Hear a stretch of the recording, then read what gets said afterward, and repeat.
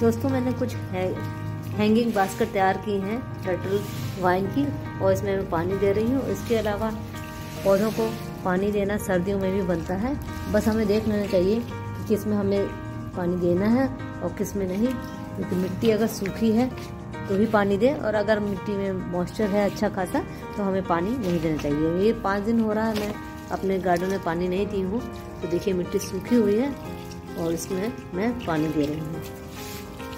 तो हमेशा सर्दियों में पानी चेक करके ही देना चाहिए।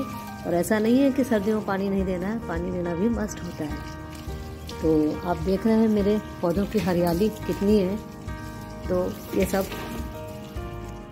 अच्छे मैनेजमेंट का ही असर होता है। ये देखिए, चौलाई अब बीज देने लगी और ये चौलाई में अब जगह जगह लगा दूँगी।